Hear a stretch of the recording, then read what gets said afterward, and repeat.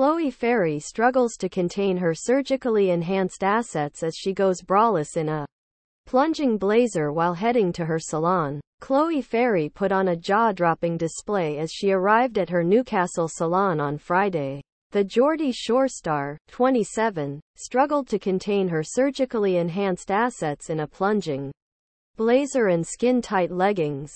Chloe repeatedly attempted to cover herself as she spilled out of her daring top, whilst popping to her beauty business HQ with co-star Nathan Henry.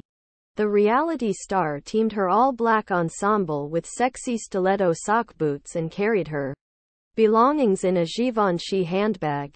She styled her long brunette hair extensions into elegant mermaid waves and accessorized with chic pearl earrings. Her busty display came days after it was revealed that Sam Gowland is set to return to Geordie Shore four years after his explosive bust-ups with ex-Chloe saw him get fired from the show. The television personality, who also argued with some of the other Geordie Shore cast member, was given the boot in 2019 and has since appeared on Love Island. However, he will be back for the new Geordie Shore series alongside his ex and may cause potential fireworks on the show. Speaking to The Sun, a source said, Sam flew out and surprised the cast in Cyprus. It was a total shock to everyone when he arrived, and extremely awkward for Chloe. Fans will love to see him back on screen but the cast were really shocked. A representative for MTV declined to comment. The reality star was in Geordie Shore in its 16th series in 2018 but did not return to the show in 2019 after discussions with Chloe, but when they briefly got back together, Sam, who met Chloe on the show in 2017, was involved in filming again.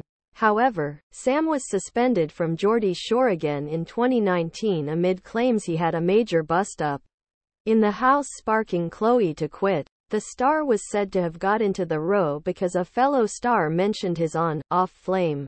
Chloe had kissed another man on a Portugal night out while she and Sam were on a break from their romance. Sam allegedly took it way too far in a heated exchange when Chloe's kiss with a mystery man became hot topic of conversation once again, the Sun claimed. A source told the publication, he got suspended again because it came out that Chloe snogged a random man during filming in Portugal. Everyone thought it had blown over but when he went back into the house it was mentioned and he hit the roof. Obviously the producers want fireworks but this was way too far, hence why Sam was slapped with another suspension.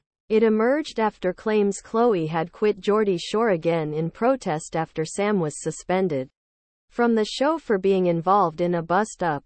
Insiders told The Sun that Chloe followed Sam as he left for a second time after a row broke out. Sam had previously left the show just weeks before, following a row with Chloe, who he endured an on-off relationship with. She herself quit the show after splitting from Sam but returned weeks after.